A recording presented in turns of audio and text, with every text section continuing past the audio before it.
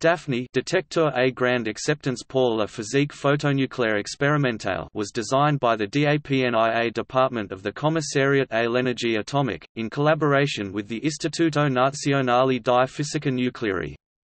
The original purpose of the detector was to explore the quantum chromodynamics QCD properties of nucleons i.e. protons and neutrons. To explore these properties, excitation states of the nuclei require to be measured e.g. delta baryons, symbol delta. These excited states of nucleons decay via the emission of light mesons such as pions pi, eta mesons eta, or kaons k. Various models exist that describe the correlation between the observed reactions, the excited states and QCD.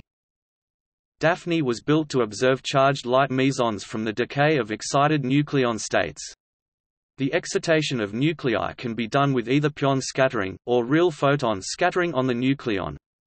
Real photon scattering has the advantage that the first vertex can be cleanly described by the well-known quantum electrodynamics QED, while for the pion scattering at least two strong interaction vertices exist that require much more effort from models.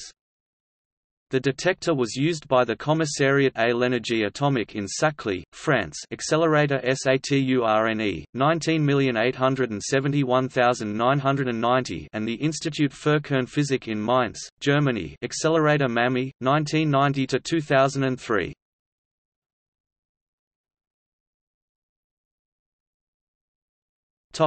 Setup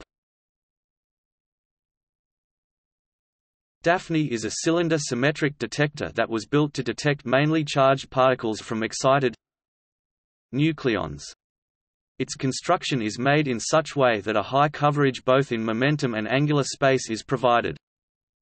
The angular range of the detector is omega equals 0.94 times 4 pi steradians. The detector consists of six layers of organic scintillators divided into 16 segments and is cylinder symmetric. These scintillators were originally produced by Nuclear Enterprises. The following table shows the setup of one of the 16 identical sectors of Daphne, starting from the most inner layer. The 16 sectors represent the calorimeter. To identify particles, the multilayered structure represents a range telescope that allows to determine the energy deposit in each layer and the range of a particle in the detector at all by the energy losses in each layer and the distribution of energy losses over the layers, the type of particle and its total energy can be determined. This identification is done in a way that measured values are compared to simulated values of particle hypothesis. The maximum likelihood method is used to evaluate which particle hypothesis fits the best to the measured data. The algorithm used checks for proton and charged pion signatures. For a better identification of the observed reaction, Daphne is provided with three concentric and independent multiwire proportional chambers. By analysis of data of the chambers it is possible to safely identify up to five different tracks of charged particles for each identified event. A reconstruction uncertainty of 0.2 degrees azimuthal and 2 mm along the beamline is provided.